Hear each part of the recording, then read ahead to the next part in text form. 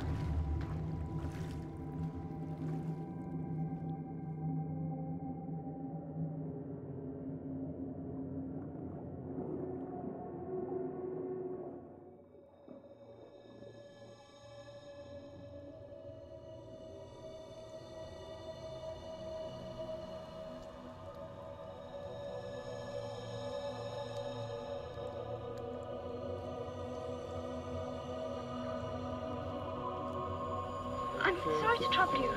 We're lost. We've had an accident.